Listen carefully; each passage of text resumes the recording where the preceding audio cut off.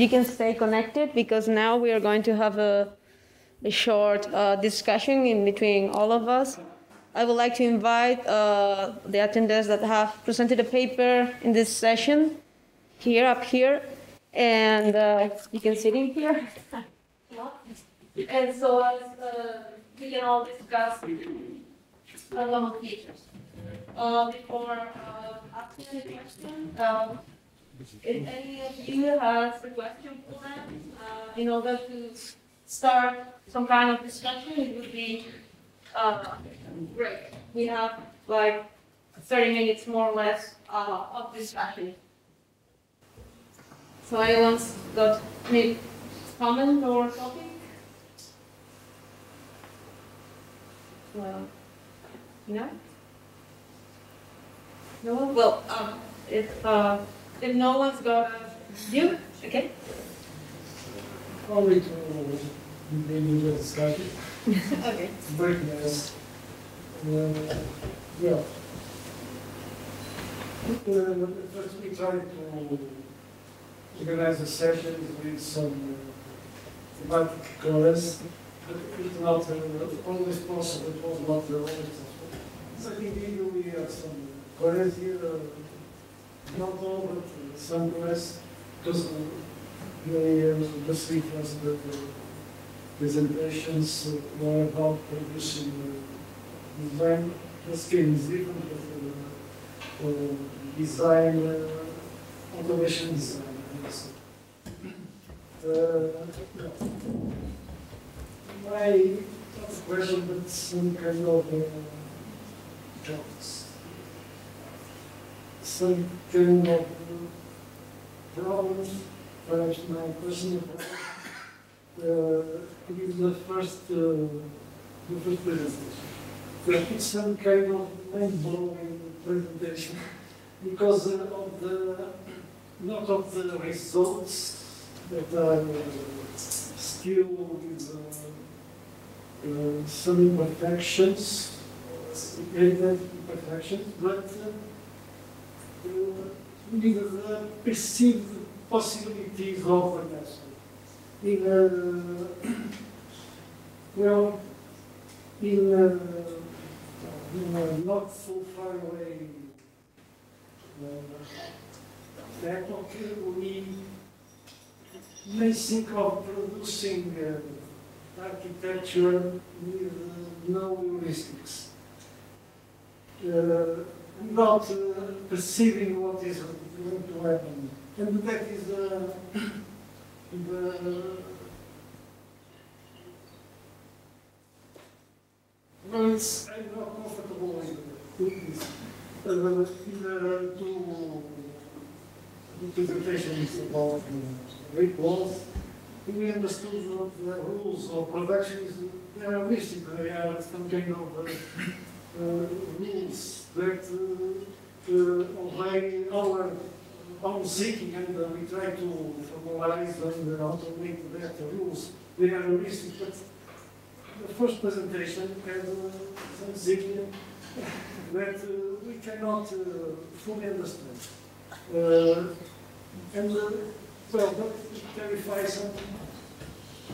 I am going to say, uh, when, uh, when uh, Einstein, the, well, when was aware of the quantum mechanics, he said, God does not play dice. So I, I'm, I'm uh, almost in the same situation. uh, and I would like to discuss this, uh, this problem. So it was uh, Yeah. Right. So, answered. Right. Thanks. Uh, yeah, it, it is. It is quite. I I, can, I think it's a paradigm shift, right? Um, because it's it's as if we can't. We no longer want to formalize it because we we see that it's not always possible to formalize all the possible rules, right? For that, that's why the deep neural networks they they are so powerful. They they kind of unearth the un, underlying patterns, right? Um, But in a way, it's also interesting because it releases us from that burden of um, doing the formalization, right? Doing you know, every single rules is. I mean, I I went through that part of my life as well in in computational design, and and it's it's painful. Um, so. Is, is, I'm happy to hear that uh, you find the, the methods interesting and in, in some sense frightening, which is which is a, I suppose a good thing um, to move forward. Um, yeah, but uh, I've looked at in other projects. I've worked on more three-dimensional uh, high-rise building. Um, we using uh, three-dimensional general adversarial network. So for today's paper, I'm just really showing how to somehow kind of distribute, split the labor right between the, the human and the, the machine, and making full use of their respective capabilities. Um, so I, maybe in future I, I, can share other papers uh, on more architectural, you know, real high-rise building, for instance. A simple one. I assume your latent space is two dimensions. And then you x, y sample. No, so the latent space is always high dimensional, so it could be hundred. How, many dimensions and how do you sample it? So you have two dimen. In, in, in, in some of the latent spaces, it, it will be 200 or 100 dimension, right? But you move in that 100 dimensional space. Then you sample it like that. You Yes, sample, you send like a hundred, a hundred integers and a hundred floats. yes, yes. Yes, exactly. We move in that space. Um, and you, there are many ways to sample. Often we think that Euclidean is, is the best, but apparently for, for GANs, it's good to do this kind of a radial way of. So you have an arc. You don't interpolate from point to point. You do an arc, so it's smoother. No, no, I, yes, of course, yes. I mean, Yeah. but we don't do, so the, the sampling of the VA, this was where the VA. No, in this. No, yesterday we talked about VAE, but um, VAE results are so bad. So th- this paper is on general adversarial network. Ah, it is all. Yeah. That's why I said that, uh, so my question is false, because I, it wasn't about two dimensions now. But but even then, Notice the VA we discussed, so let's, let's right. scrap it from the, from the proceedings. But but I've tried VAE. Hearsay. Right. Um, I have to, I, I would like to extend Franklin's question. And your response that you split the labor between the machine and the human has a practical dimension. So I do understand why. But my question is, what are the conceptual gains of this approach? I think he, he um, was asking about this. Right. The conceptual gain.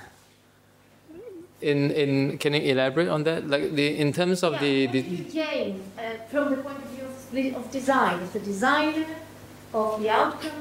What are the conceptual, intellectual, or social gains? Yeah, because the, your answer has to do with the label aspect, that you split the label between the human and the computer. Yeah, so, right.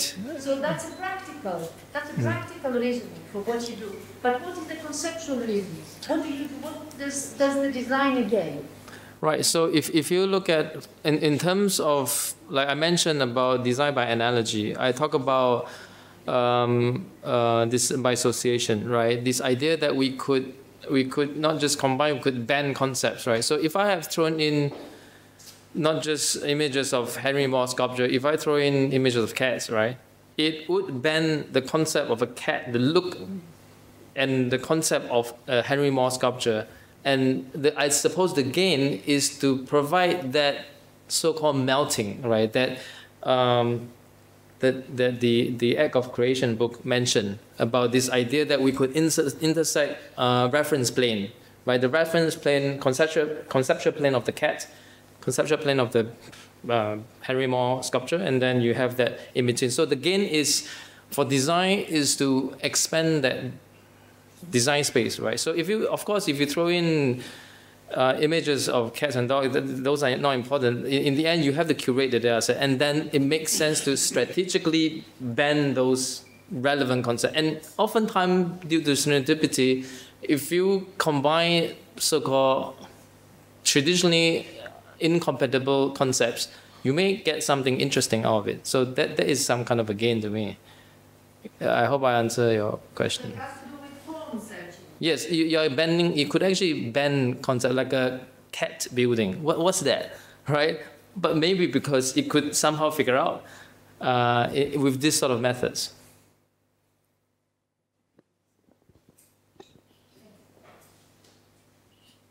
Hello. Um, I just was wondering, I mean, I understand the relevance of the bending concept that you have just mentioned, but it is worrying to me is that you're training networks with not a lot of samples, okay? So um, that's my personal opinion. Just for example, to have one, the 1,000, 2,000, the maximum that you have was 4,600. I don't think it's a, you know, training set enough, you know, for, for taking any kind of relevant conceptual decisions, you know, or paragraph definition conclusions.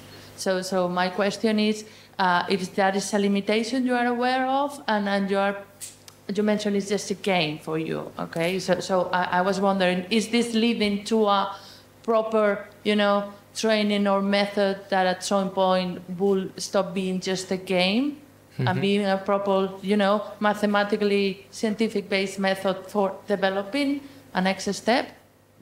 Yes. So the when, so just to, for the first part, just to clarify, when I say five thousand or four thousand, I'm not including the data augmentation part. So if I give you an image, let's say of my face, that's one data point.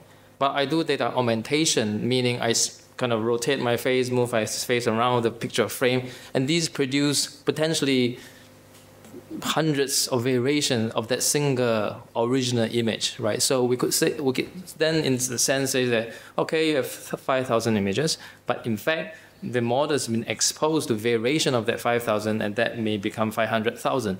Um, so this is if you train from scratch. I showed some examples where I talk about pre-trained models. So uh, a popular way uh, or in, in the domain is that you use pre-trained model, you get the relevant features, and then you train on top of it with your own 5,000. So that pre-trained model, the big ones, been exposed to millions of images. Of course, the other question is, but those those images will be not relevant as the kind of discussion I have uh, with uh, Tassos yesterday. Um, so that is then the burden of the designer to then filter out what's uh, not relevant. So I have this project where I'm also using uh, pre-trained models of facade, uh, pre-trained models of images of real buildings and other stuff like other classes, chairs, tables. So I have to deliberately ignore those parts somehow. F- again, figuring out where to take, where not to take. Um, yeah, so that's the that's that's the answer. Uh, have I missed out some the other question? That, that's the other question, no? I was asking you about the development of relevant. Oh yeah, yeah, yeah. Yes. So I'm I'm actually it's interesting that uh, uh, Emma Emma is here. So um, so surrogate model is is one good way to explain this uh, uh, crisis of the lack of data set. So in his case, he have ways to simulate, right, with I don't know heat gain, heat loss. You could simulate for like I don't know ten days with like get thousands and thousands and millions, or you can train for I don't know one month and you get all these synthetically generated simulated data set. So in theory, you can have as many as you want, right? If your data set comes from a simulated environment.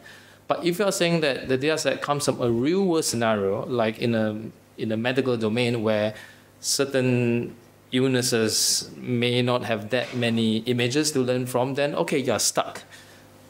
So we would then do synthetic data generation again. And, and there are ways to kind of go around it. Uh, it sometimes I think the, the designer faces a problem, a chicken, a kind of a funny thing, right? Because we say that we want to generate more design, but to start with, you need even more design to train the AI model to generate more more design, right? So it's very strange, and therefore there are moments where rule-based system becomes useful, like in his case, doing a simulation, right? Or could be shape grammars just generate many many versions, and then you inject into the AI model. That would solve the data set problem.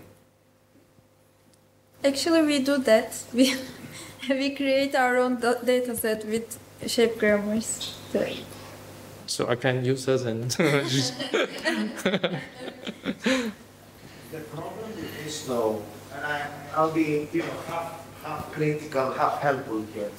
The problem with it, because I faced it, I mean, I, I spent a lot of hours training to that ended nowhere, is that the more complex the pro- process. So when we, we call something a design or a creation of something new, right?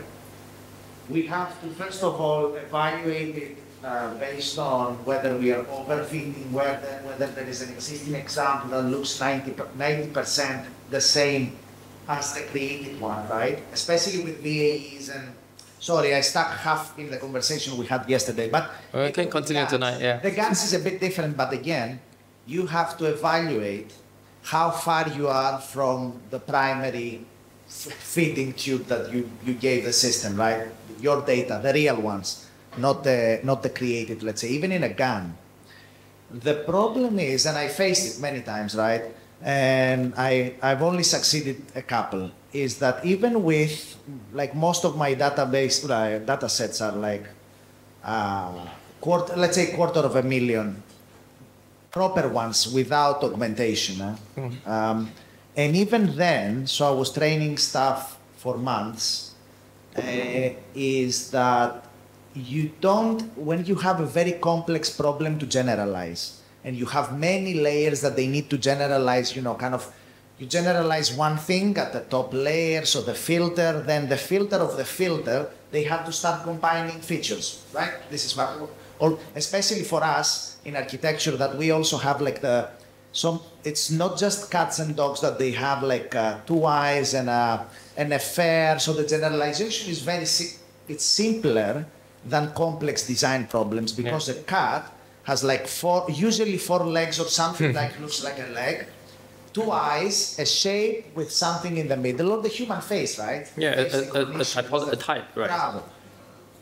So there are not many things, and I realized that when you ask the system to produce something that has like the complexity of an like even a street, a, a little ten streets, a ten street kind of um, urban um, kind of design, not design, like a, a set of streets, let's say. Configuration, it is a very complex generalization pro- pro- process and without like a lot of training sets that they have some sort of underlying general kind of you know connection it's a bit hard. That's why i, I feel that you're getting this kind of feedback of it is just a mixing of uh, it's like putting stuff in a mixer. This is how it looks for, for many people it's like putting all the ingredients of a, of a cake. I'm not a good i'm not a cook at all so but whatever. You put everything a mixer. That crazy egg. you start scrambling and if you if you throw a fish in there in the sweet in the sweet cake it will do something. So it'll be even if you throw like a like a piece of meat in a in a i don't know like a cake like a like a sweet cake right? It'll come come out with something it might not you know it might not be suitable for a vegetarian but it will be something right so that's w- why you're getting. So I think you need to, as a like critical and positive comment, is like maybe you need to express a bit more nowadays that more people know about this. They can question more. In the beginning with GANs, it was like a free for all. Everyone would throw like a like a cat and the dog, and it was like a, a PhD. We've seen many things. Uh, so I think now we have to be also a bit more critical and, and give probably in a presentation give like 10 minutes to the failures and five minutes to the good because then the people realize i mean you in one of the talks I, I show like 10 slides of the failed ones which really really failed. Like i spent days looking at the black screen and you got black screens as well. In the end you know the GAN goes crazy it produces just black stuff. So i think it needs a bit more time from from all of us to Mm. give like the failed attempts and why they failed a bit more because then we get the the audience to connect at, at least with the with the positive side of it.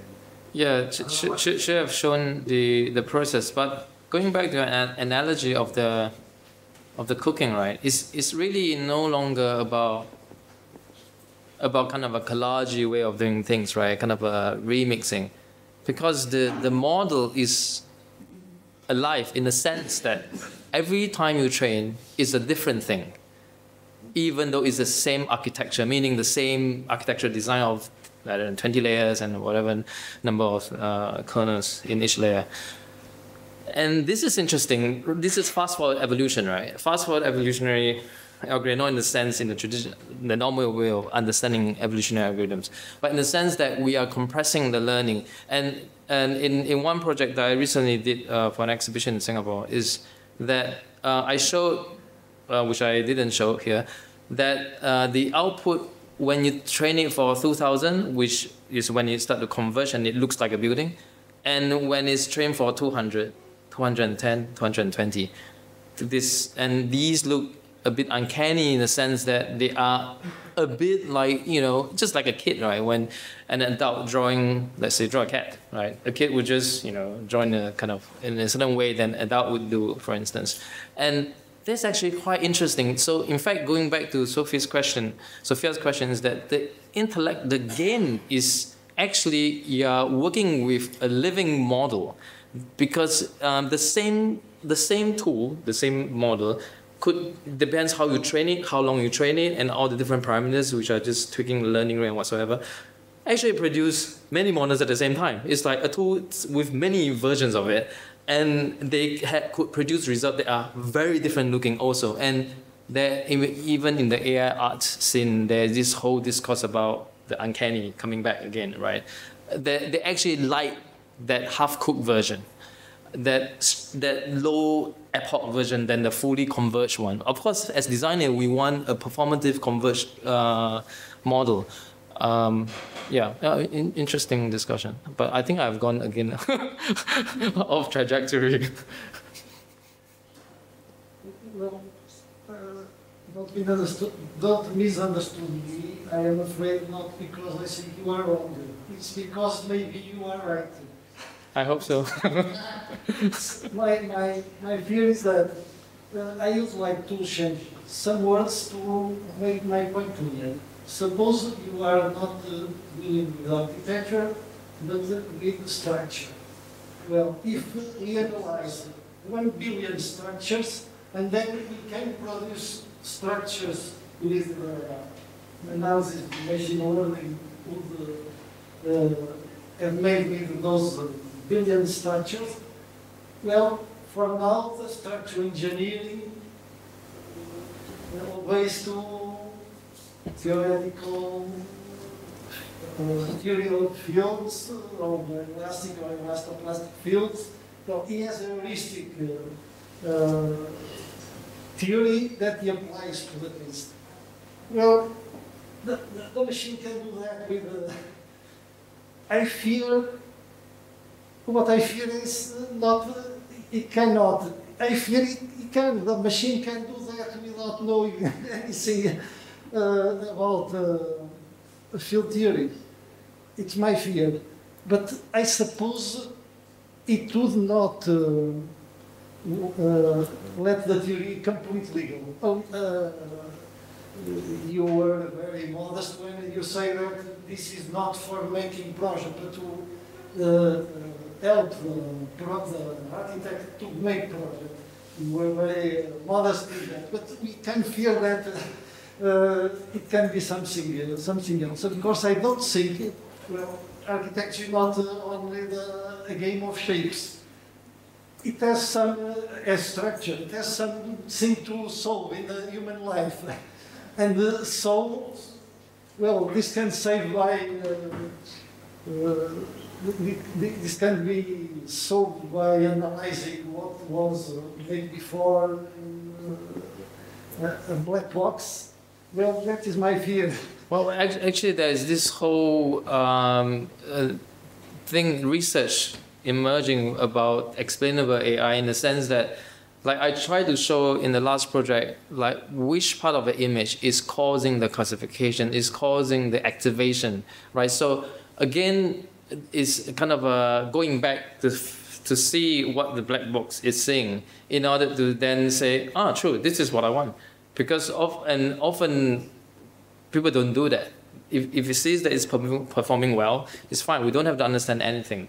Um, so yes, this issue uh, has been, people try to, to kind of look at it from from this sort of evaluation perspective. But at the same time, which I, I think I was trying to mention to Tassos is at this or the lady at the back is that they also have been looking at more explainable uh, neural network architecture like, like graph neural networks, where you could very specifically say things like, okay, the nodes represent something, the edges represent something. So when the black box is not so black anymore because we inject, in the case of graph neural networks, we inject um, domain knowledge very explicitly. And then before we throw it into the black box, right? Uh, yeah, so again, many coming from different uh, angles to, to resolve this black box issue. Oh, yeah. Um, just wanted to, to reformulate uh, one thought. So, um, and again, that's a personal opinion. I find it truly strange to train on pixel learning, of combinations on pixel learning of images of architecture instead of uh, running unsupervised learning on 3D architecture, extracting the features and its combinations, and then with that extractions done, trying to learn how to combine them. You know what I mean? Yes. Uh, For me, the approach to the pixel uh, through through this time of of, uh, of of studies through pixels, through images, through architecture, you know, is is is is kind of far from what architecture is for me. Exactly, Th- th- exactly. This is, this is Exactly. But, but bear in mind, the, the, the, this paper is really not so much about the project, but the project as a means to explain the split of labor. Uh, as I mentioned, I have other projects that actually look at voxel models or, or, or models uh, in, with real massing, real building that I got from the, at the national level, right? So those those are serious work. So architectural work. But in this case, it's really to explain. Sometimes I have students who work on because I'm I'm teaching deep learning. Sometimes they say, "Well, prof, the general image with low res versus the one that is high res, the low res is more fun because it's open for interpretation." And so, in that sense, the low dimensionality of the uh, output sometimes suggests the expanded uh, space for interpretation. Therefore, it, it, like if you generate a full face, like there's nothing more to do. I don't have to design it. I don't have to do any interpretation. But if you generate me kind of a low res face, ah, okay, maybe I can do a bit the face, the nose, and the eyes, and all that. For, so from a design context, sometimes uh, a, a kind of low, kind of a non-fully generated perfect uh, image uh, or, or form, 3D, is sometimes can be useful. But I completely agree with you. Architecture is not about image of building, clearly. But in this case, it serves as a way to communicate that uh, to our own domain. Yep. No, I, I was just commenting that, uh, commenting that, because um, it's, you know, some of us that that we study these kind of things are a little bit worried that, um, uh, you know, that uh, Neil Leach uh, announced that they published the, the, the first number of the architectural intelligence, uh, blah, blah, with the spring is going to be published, yes, and, and most of the editors that are in, this, in, in the journal, you know, have been lately proposing, and uh, I've been following your work, this is what I'm saying, so, Ah. uh, all together with Matthias and some more, you know, are proposing for this first uh, initial number of the first architectural and architectural intelligence design journal, scientific journal, works following that trend. Well, actually, You are Okay, the editor, in- I in- yeah, I'm, I'm in the editorial No, board. no, no. And, and it's for me, you know, we've been waiting so many years for the first journal, you know, uh, that is going to be addressing that. And you're gonna get half of those. No, no. Exactly. But but the thing the thing the thing Says that it, you know it, what I mean? it, no, it, it won't be because actually that journal, if you look at the different topics, is way more expanded. It's just for for whether it's good or bad. The fact, fact that you've been looking at uh, Matthias' work, my work, Daniel Bolojan, and I mean, we're kind of a collective, right? We we we like our kind of things, right? Which is not always performative or responsible for that. Uh, but we are interested in that neglected part. But clearly, the new journal is not about that. There are, you know, Achim Menges and all those, you know, Philippe Block, the, the, you know, structure, construction, like real thing, you know. so that, I don't think it, you ought to be worried about that. And yeah, it's it's much more all encompassing. Yeah.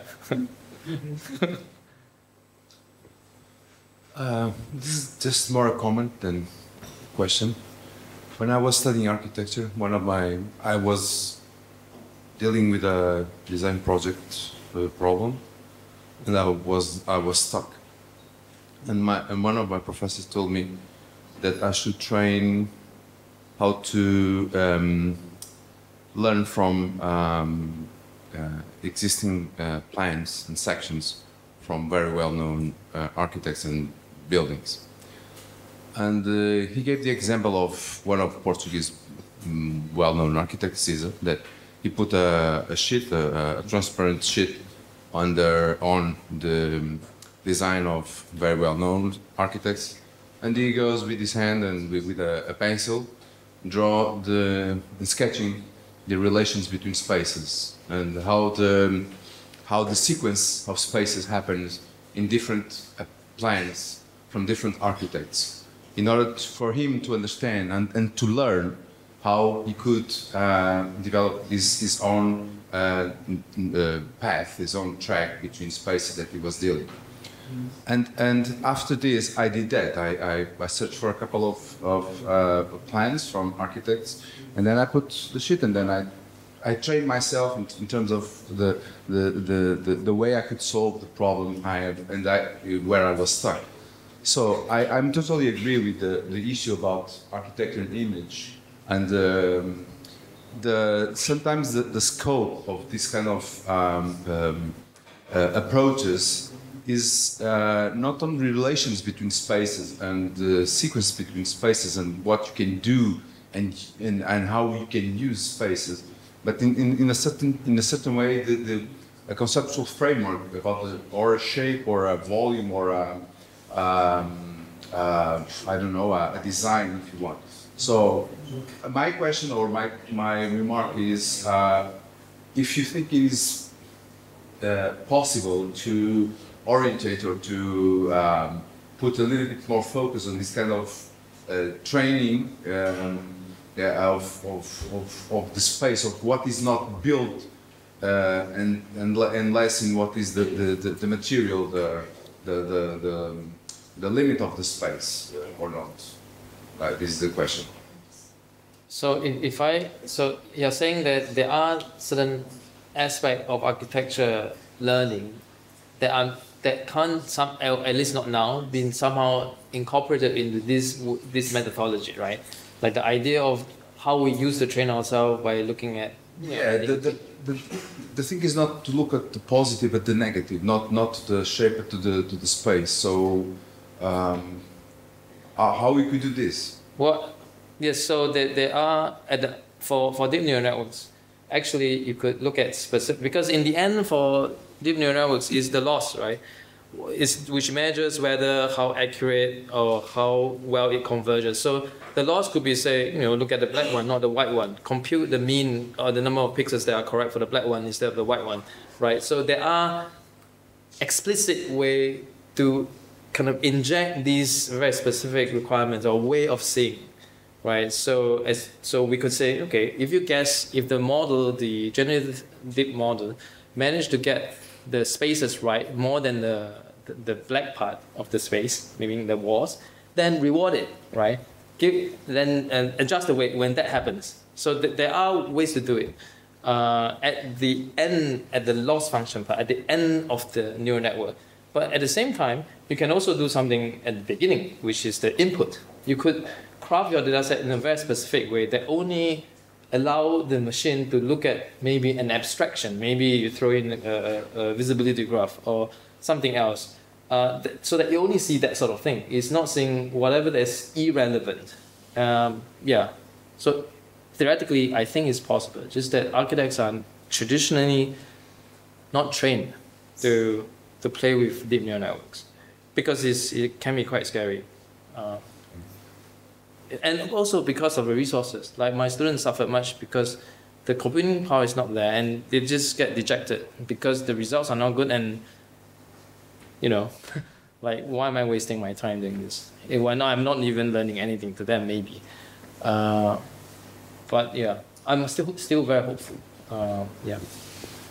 Because we are going with the last question, uh, and then we can continue the discussion. Um,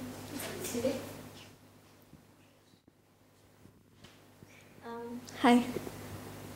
I don't have to press anything, right? Okay. So uh, this is not a question uh, for Emmanuel. It's a question for like, I think everyone here who who works in this field and uh, with this kind of stuff because this is very foreign to me, and so it's a very maybe innocent uh, but, but very ignorant question as well. But um, I'm here in, in the symposium. Uh, I'm from the field of space syntax, uh, which attracted me when I was uh, studying in my master's because it was something that allowed me to introduce theory into design, which was something that I found uh, extremely lacking uh, in my design um, course. Uh, it was all very, uh, very artsy and not grounded enough, and so when I found space syntax, something that would was telling me something about the design, something about space. I was getting something from it that I could then inject into my designs. It was very exciting.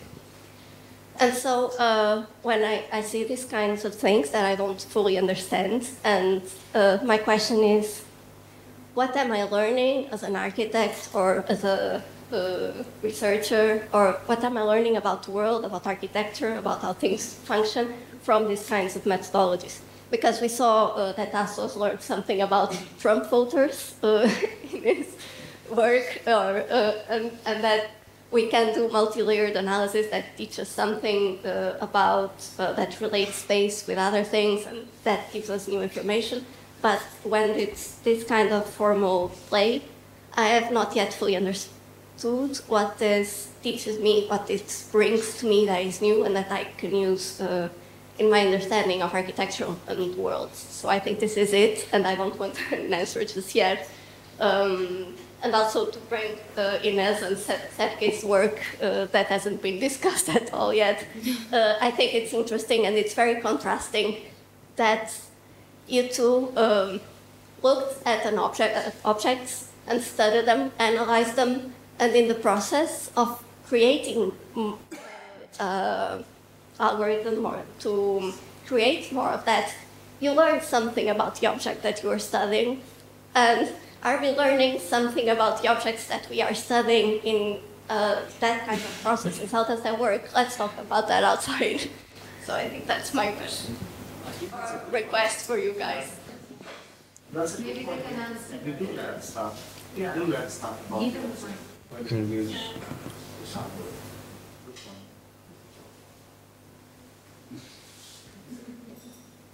Do you want to answer this question? No, you can answer the question and then we just go. This is one question.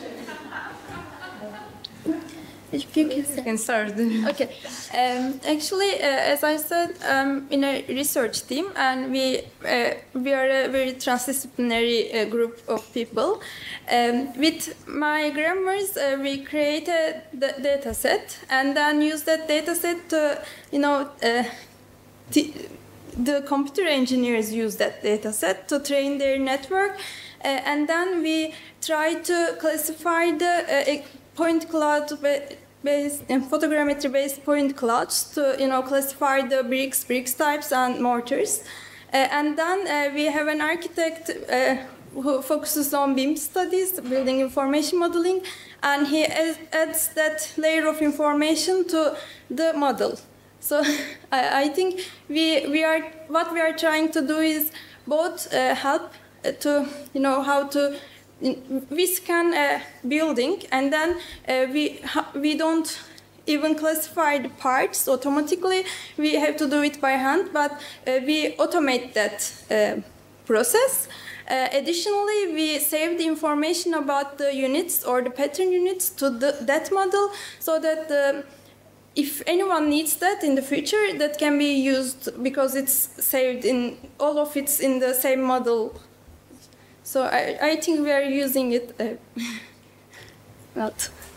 in, in my case, the process is not uh, automated. So my research, this is my research, PhD research, and I have uh, analyzed like the geometric characteristics and not, not only the geometric characteristics like the, uh, the materialities and the placing, and then I structured um, mathematically the, the principles that I found that were more that the, that were more common or or that were similar that that things that could be generalized in mathematical principles that can help those that want to apply them in the development of new ones. Of course, these principles always have to be uh, adapted some way to the, but it's not, nothing is automated in this part.